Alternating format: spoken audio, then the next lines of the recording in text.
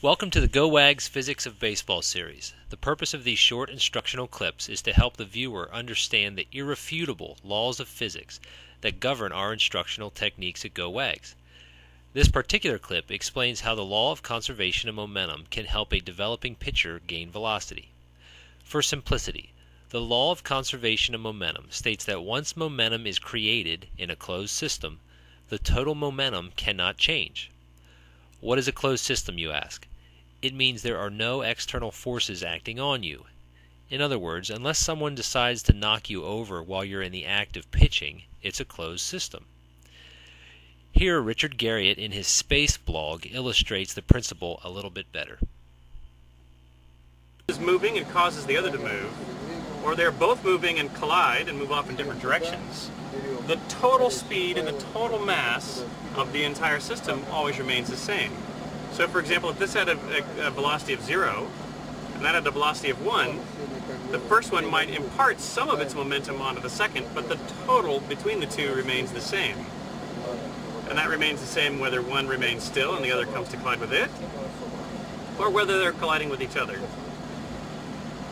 It even works, in this case I put Velcro, it even works if these two stick together, the total momentum remains the same. So for example, if I can get these two to stick together while one is stationary and the other is moving towards it, once they stick together, the total momentum remain the same, so the combined objects will have half the velocity of the one initially that was moving. So, how does this apply to pitching and specifically throwing harder? Let's go ahead and look at some examples now.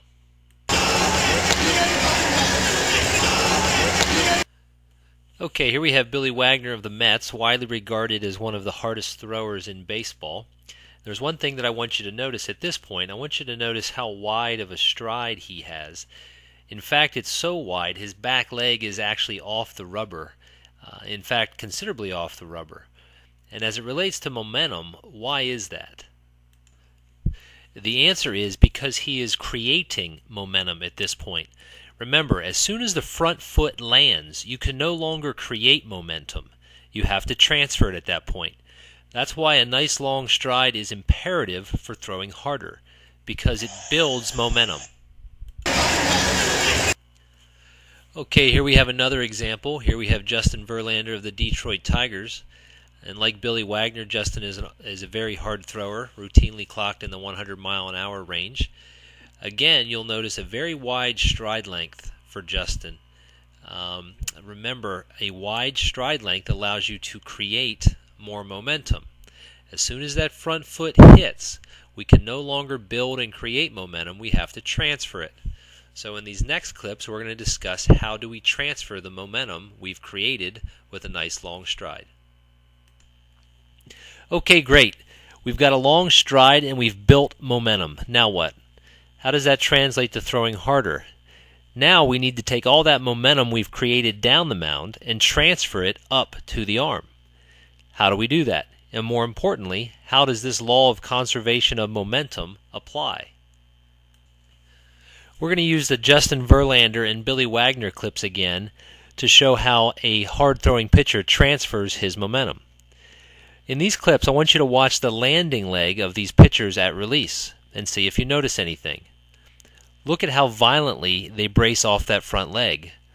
What are they doing and why are they doing it?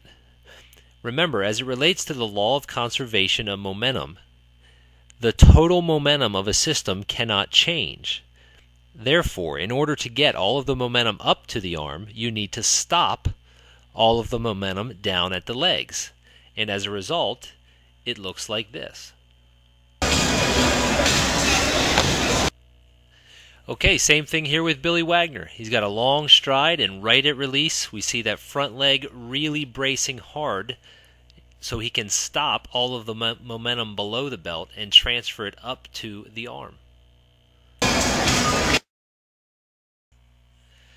And just in case we have any old timers out there listening and are a little skeptical of maybe this new way of teaching or this new way of thinking about pitching, I've got a clip in here of Sandy Koufax, and you can see, based on his delivery and his technique, He also believed and applied the law of conservation of momentum to throw harder. In summary, to throw harder, you must 1. create more momentum with a nice, long, powerful stride. 2. transfer that momentum by bracing hard off the front hip. If you'd like to schedule a lesson with Bret to have your form evaluated using our state of the art Casio EX-F1 video camera, you can contact him at the number and at the email address listed on the screen.